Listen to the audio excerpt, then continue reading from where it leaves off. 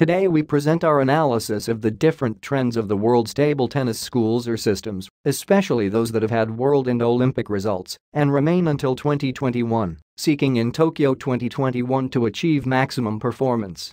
We must first start by talking about the essential biomechanical components, such as speed, precision and rotation effect, each of them interferes in the efficacy, efficiency and effectiveness of each stroke and gesture on the ball that table tennis executes. Of these three components, at an elite level, speed in its different manifestations make and will make a difference in the training systems that continue to give results in world table tennis. Speed in table tennis is presented in three components. Transfer speed or called by many hit power, gesture speed or stroke frequency and angular velocity representing the rotation effect on the ball.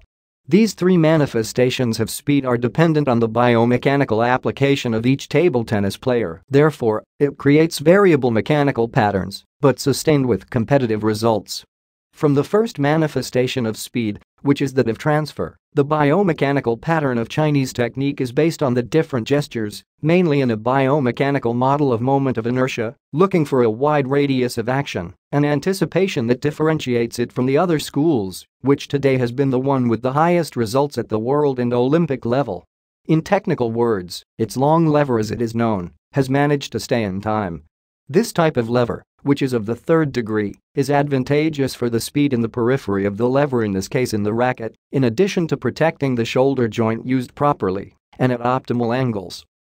Imitated by Korea in its current young players, but without being effective yet due to the lack of anticipation in the Korean school, which was very effective in the pencil grip, with great exponents who are now coaches in that Asian country.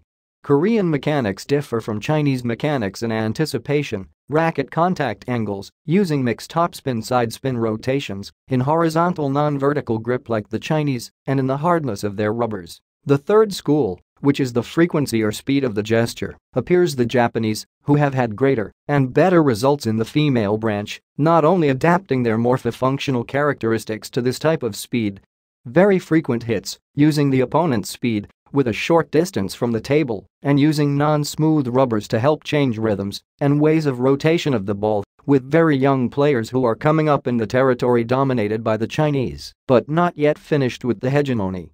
Europe, Oceania, Africa, and Latin America have been nurtured by these three great systems, the greatest benefit for these being training in China in continuous seasons and for every certain time managing to position players among the best in the world. Only once a team has managed to reach the top after the 90s, and it was the Swedes.